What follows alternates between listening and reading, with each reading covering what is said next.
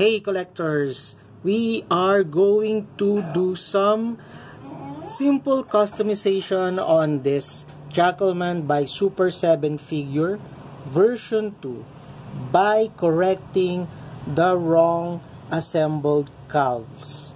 This one should be here and the other one should be on the other side so that he won't have this weird looking leg.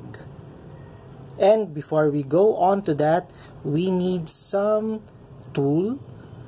First is this to pry off the figure's parts and hot water.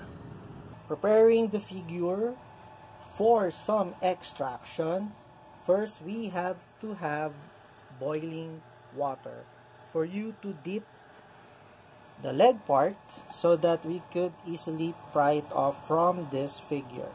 Once you have the hot water, put it in a container wherein you could put the figure in a standing position so that the plastic will soften up because of the heat of the hot water. After a few minutes, you could easily remove the lower part of the leg by twisting and turning it. And again, dip the figure in the hot water so that you could soften the calves for us to remove it by prying it off the knee part.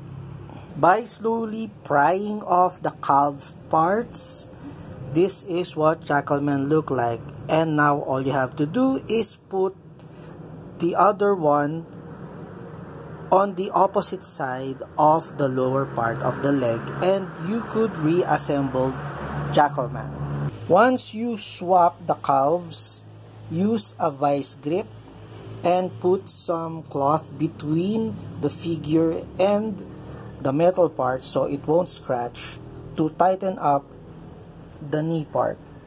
And after a few minutes of tightening the knee part with the vice grip, now we have a corrected leg assembly for Jackalman. And with that, thank you all for watching.